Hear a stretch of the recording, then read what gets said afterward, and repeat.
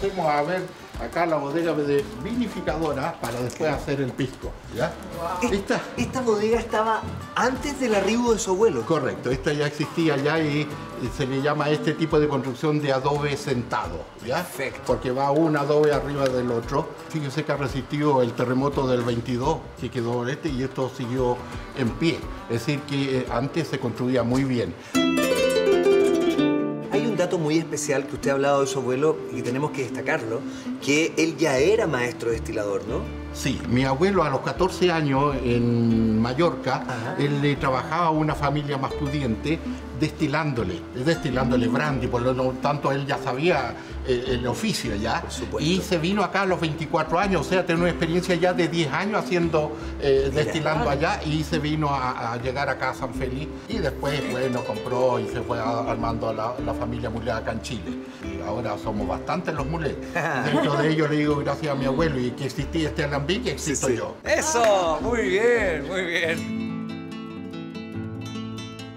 Fui un, un embajador de los primeros embajadores de, hacer conocer el pisco en el mundo, porque estuve en Finlandia, estuve en Suecia, he estado en la India, en China, y, to- y vendiendo pisco, y ese haciendo momento- conocer el pisco. Así que tiene que haber alguien primero que haga conocer este maravilloso licor que es el pisco. Imagínese yo entrar a una de las mejores botillerías de, de París, en Francia, y ver expuesto los piscos con quemado, las tres dimensiones en pisco de 35, 40 y 46, se me cayeron las lágrimas y no podía parar de emoción. Y la señorita que me estaba atendiendo, un enólogo, decía, este señor está medio loco, ¿qué le pasa? Me está poniendo a llorar acá.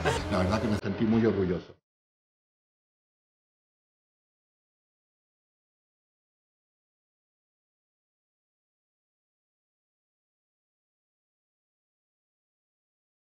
¿Y qué ocurre aquí con este vino? Lo que pasa es que una vez que está el- este vino a cero grados de dulce, ya un Ajá. vino seco, lo bombeamos a unos estanques para arriba, Perfecto. para que después venga por esa cañera, eh, cañería azul que va ahí, ya, Perfecto. donde pasa todo el vino para destilarlo.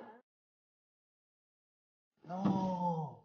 Este es el original. Este es el alambique original, el que un día usó mi abuelo, después mi padre, y yo lo sigo usando. Usted ve que aquí está funcionando, está la caldera funcionando. 1893.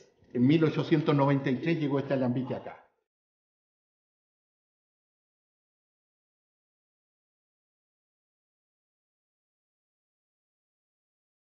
Yo hago el pisco como hace 100 años atrás.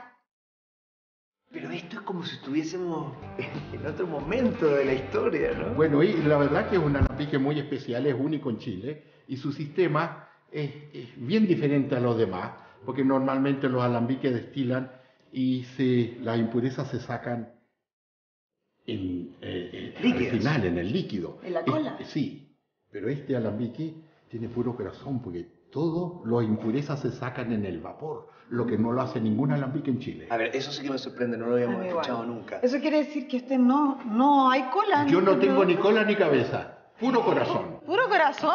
Por eso el hombre el pisco.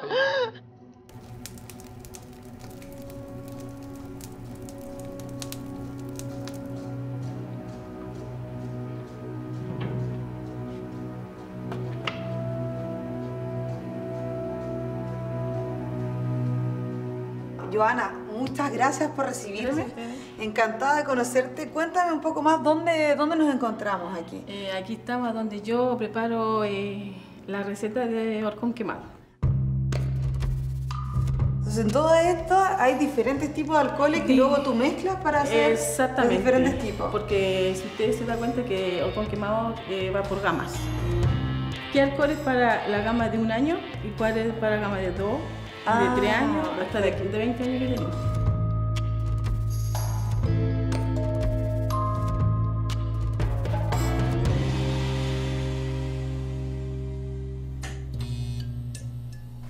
Le invito a conocer mi laboratorio. Pero qué lugar más místico.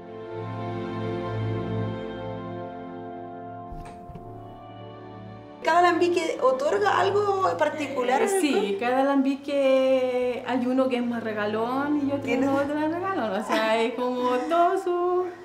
Pero sí hay uno que es más regalón. Aquí Wow. se ve el corazón del con quemado. Ah, ¿Lo puedo tener? El corazón del horcón quemado, mire. Aquí yo te lo saco. Este es el medidor de grado. Lo que manda el grado real es la temperatura. Esto es alquimia. Y usted para saber cuántos grados tiene, usted tiene que tener este cuadernito que nosotros usamos. ¿Qué haces con ese cuaderno? Este cuaderno usted aquí tiene la tabla de los grados, que es esa, y aquí a los lados es la tabla de la temperatura. Entonces usted tiene que buscar acá, en esta tabla. 65, Sí. ya, yo le veo la temperatura que me marca 19 y medio. Ok. Entonces, entonces ¿qué hago yo? Bajo y llego al 19 y medio, entonces me da 65,7. ¿Pero qué quiere decir eso? Que viene siendo 66. Yo aprendí mirando. ¿Mirando? Sí, mirando. Había otra persona a cargo que se retiró y yo aprendí mirando de ella. Me gustó. Me gustó y me apasioné con esto.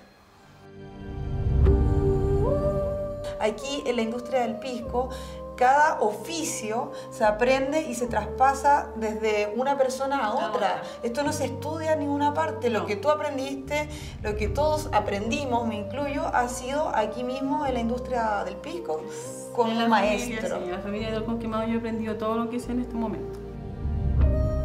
Me apasiona mi trabajo y también me apasiona enseñarle a ustedes y a las personas que vienen, llegan trabajando acá, que realmente somos puras mujeres que trabajamos en bodega de embotellación. Hay que tener la sensibilidad para absorberlo. El que no lo absorbe es muy difícil que llegue a ser un gran pisquero. Lo que nos faltaba es justamente hacer saber qué es realmente el pisco y lo que cuesta llegar a esta maravilla de productos. ¿ya? Y que tiene que sentirnos nosotros, cada uno de los chilenos, muy orgullosos de que pueda existir. Entonces, don Eduardo, ¿usted cuánto pisco tiene en la sangre? 100%. Por algo es el señor del pisco. El pisco que se hace acá, el pisco chileno, no tiene nada que envidiarle a los mejores destilados del mundo.